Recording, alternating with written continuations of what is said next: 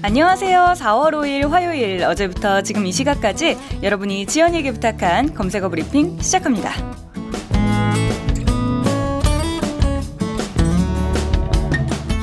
조세 회피 자료 폭로. 전현직 정상 수십 명과 세계적인 유명 인사들이 대거 포함된 사상 최대 규모의 조세 회피처 자료가 폭로됐습니다. 국제탐사보도 언론인연합회 ICIJ가 파나마의 최대 법무법인이자 역외 비밀 도매상으로 악명 높은 모색 폰세카의 내부 자료를 입수해 분석 결과를 공개한 건데요. 이 자료에는 푸틴 러시아 대통령의 측근, 시진핑 국가주석의 매형, 데이비드 캐머런 영국 총리의 아버지를 비롯해 아르헨티나 대통령과 아이슬란드 총리, 우크라이나 대통령 등의 전현직 세계 지도자들의 이름도 포함됐습니다. 또 유명 스타 가운데에는 아르헨티나 출신의 세계적인 축구 선수 리오넬 메시, 홍콩 출신 영화 배우 성룡도 있었다네요. 특히 이번 자료 가운데 코리아로 검색된 파일은 모두 15,000여 건이었고 이 중 한국 주소를 기재한 한국 이름 195명이 확인됐는데요. 한국 주소지를 기재하지는 않았지만 노태우 전 대통령의 장남 노재현 씨도 폭로된 자료 안에 있었던 것으로 밝혀져 국내 파장도 꽤 클 것으로 보이네요.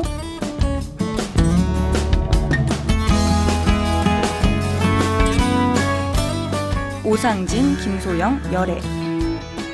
노량진 수산시장 현대화 갈등. 한국 슈퍼컴. 2016 프로야구 개막. 2016 타이어뱅크 프로야구가 지난 4월 1일 개막했습니다. 프로야구 10개 구단은 시즌 144경기를 치르는 대장정에 돌입했는데요. 한국야구위원회 KBO는 지난해 역대 최다 관중인 736만 명을 뛰어넘는 860만 관중을 이번 시즌의 목표치로 잡았습니다. 특히 올해는 국내 첫 동구장인 고척 스카이돔과 팔각형 모양의 대구 라이온즈 파크가 선을 보이면서 목표 달성의 기대를 한껏 고조시키고 있습니다. 지난주 금요일에 시작된 프로야구는 월요일이었던 어제 잠시 휴식 시간을 갖고 오늘 다시 시작되는데요. 오늘은 LG 대 기아, NC 대 두산, SK 대 롯데, 삼성 대 KT, 넥센 대 한화 이 다섯 경기가 오후 6시 반 각 구장에서 펼쳐질 거라고 하네요.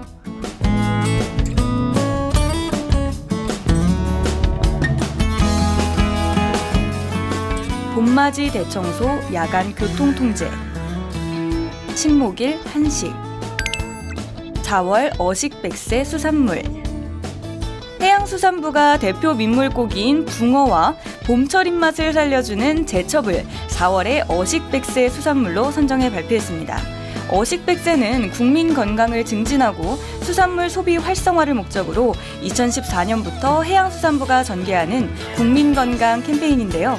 이번 4월에 선정된 수산물 붕어는 강과 저수지뿐 아니라 물풀이 많은 작은 물웅덩이 등 어디서나 잘 자라고 중국, 일본, 러시아, 유럽 등 세계 곳곳에 널리 서식하고 있는데요.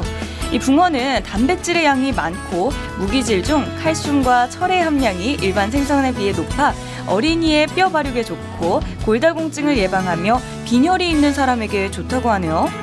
또 제첩은 바닷물과 민물이 합쳐지는 모래가 많은 곳에 서식하고 오염된 물에서는 살지 못할 만큼 깨끗한 조개인데요. 이 제첩에 포함된 글리코겐은 담즙의 배설 촉진과 더불어 해독 작용을 활발하게 도와주어 간장 보호나 숙취 해소에 좋은 식품이라네요.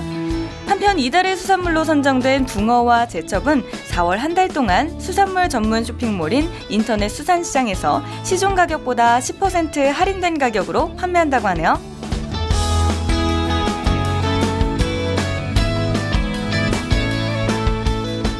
유익한 정보가 되셨나요? 저는 내일 다시 여러분이 놓친 검색어들을 모아 모아 찾아올게요. 지금까지 정지현이었습니다.